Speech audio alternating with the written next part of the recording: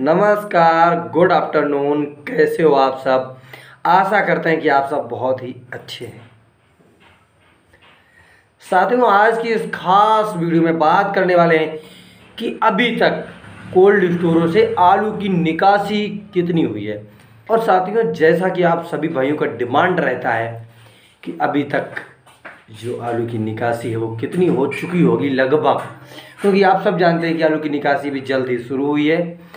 पर हाँ एक दिल नहीं मानता है कि यार पता नहीं कितनी होगी होगी, क्या हुआ होगा। चलिए, मैंने भी सोचा इस पर थोड़ा बातचीत कर ली जाए। जैसा कि अभी तक हमारे पास कुछ अनुमान हैं और कुछ जानकारी है कि कोल्ड स्टोर से वेस्ट बंगाल में लगभग अभी पाँच परसेंट से लेकर छः परसेंट के आसपास आलू की निकासी हुई है। और साथियों, अगर बात करें वहीं अपने उत्तर प्रदेश, कन्नौज और फरकाबाद और छिबरामऊ की तो कन्नौज और छिबरामऊ फरकाबाद क्षेत्र में आलू की निकासी अभी हाल में ही शुरू हुई है। जैसे ही यहाँ की रिपोर्ट सही मिल पा रही है, वैसे ही आप सबको हम जानकारी दे के बता देंगे कि यहाँ पे जो आलू की निकासी है, वो कितना परसेंट तक हो गई है। और साथियों, अगर आप सभी भाइयों को अभी तक पता है कि आलू की निकासी छिबरामऊ और कन्नौज और फरक्काबाद क्षेत्र में कितनी हो चुकी है तो आप लोग कमेंट बॉक्स में मुझे ज़रूर बता दीजिएगा, हम आपका वेट करेंगे। और साथियों, अभी तक, आगरा क्षेत्र से मुझे जो खबर मिल रही है तो आगरा से, क्षेत्र से हमारे जो भी भाई लोग हैं, जिनको जानकारी है कि अभी तक कितनी आलू की निकासी हो चुकी है, वो नीचे कमेंट बॉक्स में बता दें, जिससे हम किसी अन्य वीडियो में सभी भाइयों के साथ में शेयर कर सकूँगा कि आगरा क्षेत्र में कोल्ड स्टोर आलू की निकासी कितनी हुई है। तो अभी तक जो अनुमान है, वहाँ पर भी लगभग आठ परसेंट के आसपास निकासी की बात कही जा रही है। और देखिए, जल्दी मैं अगली एक वीडियो बना दूँगा, जिसमें कि आपको क्लियर कर दूँगा कि हाँ इतनी हो चुकी है।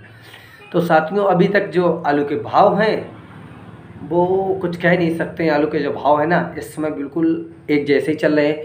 पर हाँ उम्मीद है कि अब अगर लॉकडाउन खुल गया है तो धीरे धीरे आलू के दाम में उछाल आ सकता है और आलू की निकासी की भी डिमांड हो सकती है और डंप का आलू बिल्कुल भी समाप्त हो गया है।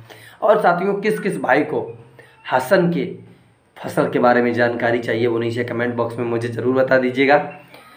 और आप लोग इस वीडियो को कहाँ से देख रहे हैं, वो भी नीचे कमेंट बॉक्स में बता दो। और अगर आप इस चैनल पे पहली बार विज़िट कर रहे हो तो अगर आप लोग इसी तरीके से हमारे साथ जुड़ना चाहते हैं, जुड़े रहना चाहते हैं तो आपको नीचे जो लाल बटन दिखाई दे रहा है ना, इस प्रकार का देखो डिस्प्ले पे दिख रहा है ना, इसी प्रकार का लाल बटन आपको दिखेगा। उसको ना सब्सक्राइब कर देना, पास में बेल आइकन का निशान आएगा, उसे भी प्रेस कर देना। उससे क्या होगा, जैसे ही वीडियो को हम अपलोड करेंगे, सबसे पहले नोटिफिकेशन आपको मिल जाएगा। और आप वीडियो को सबसे पहले देख पाएँगे, आपके, आपसे कोई भी वीडियो मिस नहीं हो पाएगा। तो साथियों, अभी तक क्या था कि डंप का आलू चल रहा था और थोड़ा लॉकडाउन की वजह से जो आलू की डिमांड थी, वो बहुत ही कमज़ोर थी और आलू की जो डिमांड थी, बिल्कुल भी नहीं हो रही थी बाहर मंडियों में।